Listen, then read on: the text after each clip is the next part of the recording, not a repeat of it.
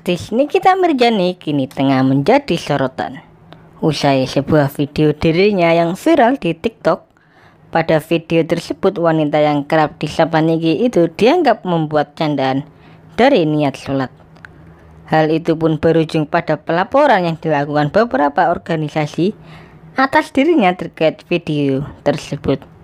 Menanggapi pelaporan itu, Nikita Mirjani pun memberikan jawaban yang santai. Ia bahkan menantang agar semua melaporkan dirinya karena ia merasa tak bersalah. Ya laporin aja yang banyak deh, kalau perlu semuanya laporin gue. Nggak ngaruh lah, kan ada video aslinya.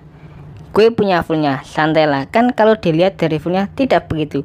Alur ceritanya, ujar Nikita Mirjani.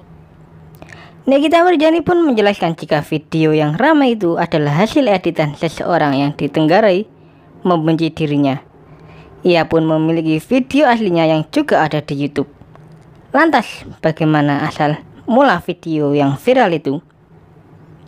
Mantan istri Deporatif itu pun berdalih jika kejadian di dalam video tersebut terjadi saat dirinya tengah berseteru dengan seorang selebriti.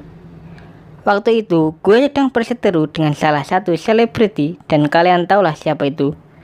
Tiba-tiba ada yang membenci gue atau kelompotan-kelompotan yang tidak suka sama gue memotong video tersebut jadi seolah-olah melecehkan mengenyangnya agama Islam.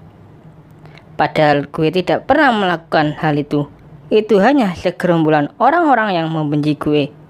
Orang yang memang gak suka sama gue, melihat hidup gue tenang atau bahagia, dia bikin begitu.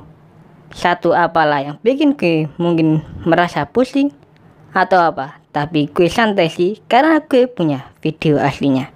Ujar Nikita Mirjani.